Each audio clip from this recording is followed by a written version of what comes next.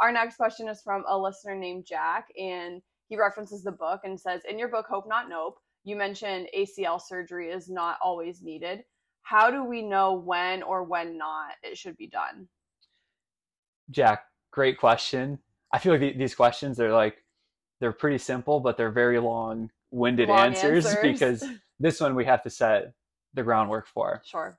Because people listening, they might go, "What? No, if you tear your ACL, you need to get it reconstructed, and if you don't get it reconstructed, then you can't return back to these activities or these sports or, or things like this." And really, in the football spirit, John Elway actually played without an ACL. Not his whole career, but in the Super Bowl, I forget what year it was, maybe 98. I am not sure. But the year that they won the Super Bowl, John Elway tore his ACL. And they, they said, you need to have surgery on it because that was the practice at the time. That was the cert, that was the protocol at the time. And John Elway said, I'm not getting a surgery. I want to play in these games. Like I've fought this whole season, I fought my whole career for these moments. I'm not just going to stop playing. So he just refused it. And because he refused it, he doubled down on quad strengthening, on quad reactive stability, did a really good quad strengthening program, and he played. And he played well wow. without having the surgery. There's been other players that have done it. Uh, Blair, Hines Ward, a lot of really high level professional athletes that have torn their ACL, not had the surgery, and then performed well. After the season, they may go and have it done, but that's a whole different story because they they're making a lot of money per week. They're mm-hmm. making a lot of money per day. If you're not going to have the surgery, then you would be defined as a coper, and that could take two to three months to identify if you're going to be a coper or a non-coper. So if a person, a professional athlete that's making all this money per day, if they go two months and then they're identified as a non-coper, well, they just lost out on two months of money. Mm. So professional athletes tend to be rushed into it unless they decline it. But from that, the general public has now gotten the idea that this is how you manage ACL injuries, is that you need to have the surgery done. And there's research out of Delaware that has really shown that no, you don't need an ACL reconstruction.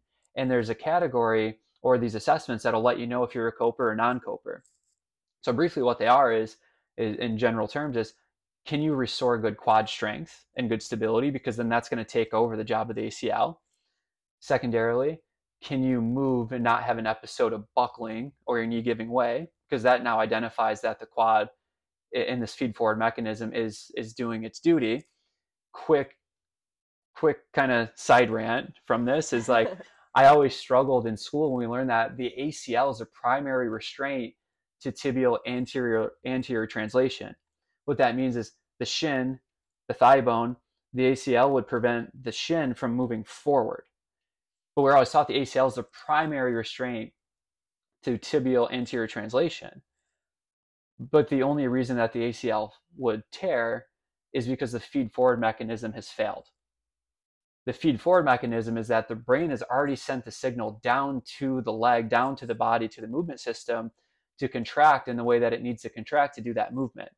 When that feed forward mechanism has failed, that's when the ACL tears.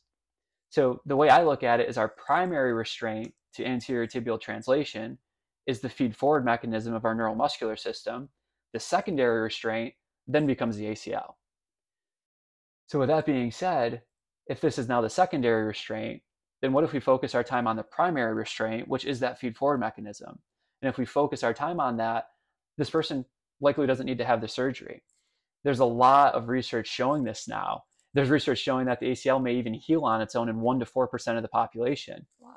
With the the coper non-coper, there's now further research showing long term that if the person was first identified as a non-coper, meaning that they would be a candidate for surgery, but they don't have the surgery, a year later, they're now identified as a coper. Hmm. Which then really begs the question do we need the ACL reconstruction at all? and I think sometimes we do. If the knee is is very unstable, it's buckling a lot. It's a younger athlete because this research is in people from like 18 to 35. So someone's 14 or 15 years old. I don't know if we can take that data and apply it to this population. Okay. But I think the conversation goes well, let's at least give people a chance. Let's at least present this data to them and give them that option that if you do this really good quad strengthening program, you use progressive overload, you decrease your kinesiophobia, which is your, your fear of the movement, and you feel confident that you can get back to your sport, then let's use that option. If you're terrified of this thing and you're not going to be dedicated to a good non-surgical program, okay, then then maybe we can offer that. So how do you know if you need the surgery? Wrapping that up, if your knee is buckling, if your quad isn't able able to restore its previous ability, um, and I think those are the two main ones. Okay, so it's not as black and white of no one needs the surgery and everyone needs the surgery. It, it really just depends on the person, the situation, and in some ways their belief system of if you really believe you need the surgery, then Yeah. you probably should get the surgery because you believe that that's what's going to heal you. But if you believe that you can do all these other things and go through that rehab program and, and things like that, then that might be the the better route. One mm-hmm. question eh, within that, does it matter like how what's the healing process for these things? So someone tears their ACL, decides not to have the surgery is it like a still 12 12 months versus they tear their acl have the surgery like what's the recovery Yeah. So if they if they are a coper and, and they stay in that coping category and they do really well in the pro, they can get back sooner rather than later. So they can get back. It's hard to give a time frame because it depends on how dedicated that they are to the program. sure But we're looking at like a range of four, five, six months, maybe seven months. Where if you have the surgery, it should be at, at a minimum nine months before Wow. that athlete returns. A lot of people are getting cleared at seven months because the healthcare system is saying, yeah, checked off, you're good to go, but they're not getting good functional tests done. They're not Mm. getting a good level of quad strength measured. They're not going through a good quad strengthening program, and, and then they end up having a high risk for re-tear. So that is one thing I tell athletes is that we can do this non-surgically. And if we do this, and let's say that you start as a, as a coper, but then you turn into a non-coper, well, your outcome after the surgery is now even better because of the prehab that you did Mhm. before going into it. So there's really not lost time. And that, that that tends to get people. But one story that I can share that comes up is that there's a lot of factors that go into this. Like one for a pro athlete, it's it's money, it's agents, it's all the stressors that they take. But then what about the general population? Uh, I was working with this one individual who was a coper, phenomenal, like back mountain biking, back doing CrossFit, back doing high level activity, and he was doing great. But this individual still had a fear of what if my knee does buckle? What if my knee does give way? It it just doesn't feel right.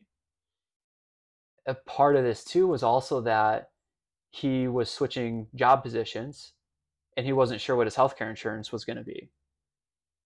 And because of that, he goes, Well, maybe I should just have the surgery while Mm. I have the insurance because I don't want to get two years into this, have an occurrence of my knee buckling, and then not have the insurance to be able to pay for this.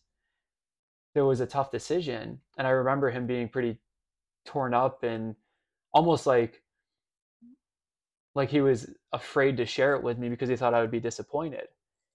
And I was like, no, man, like I understand that. And if that's what you want to do, then let's do that. Here's the best surgeon that I would go to in, in our area. And once you finish that up, we're going to get right back into the program and I got you.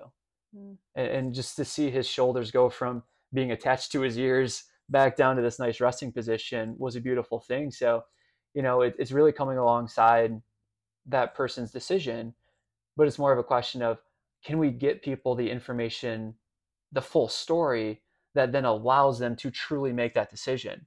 Because there's other research showing the way that is presented will dictate if a person has the surgery or not. And this has been shown in the shoulder, for example, of yeah, there's a 40% chance that you'll do okay from this rotator cuff repair hmm. versus yeah, it's a flip of a coin. You could do a conservative management program or you can do surgery and both are going to lead to a good outcome. Like when people are presented with that, they tend to not choose the surgery. When people go, yeah, no, go and try that thing, but you're going to need surgery.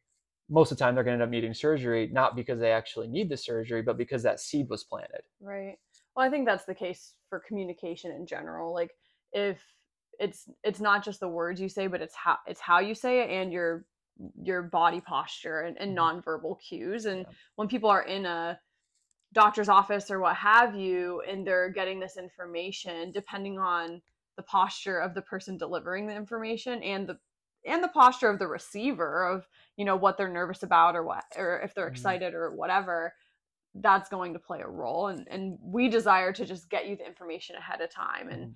or maybe not ahead of time but just to give you the information so that you can make a, a better decision about it